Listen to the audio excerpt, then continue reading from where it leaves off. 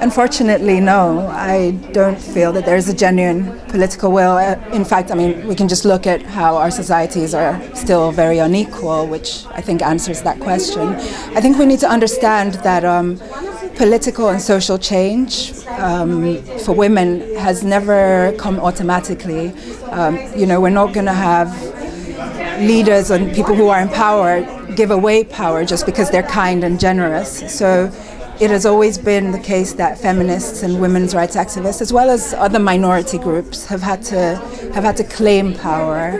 Um, and I think in that process, certainly we can change minds, and, and some people have come to realize, and that is a genuine political will for change. But, but it is um, important to understand that social change comes from the groups that are feeling oppressed and not from the other, the other side of the coin.